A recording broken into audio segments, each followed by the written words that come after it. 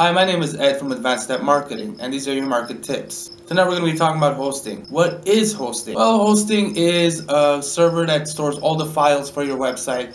When people type in your URL, it directs them to that server to download the files to view your website. Now, what does that necessarily mean? When you type in advancestep.org on your browser, it's just a pointer. It points to a server. That server contains the files to the website. From there, the customer or you are able to view our website through the server.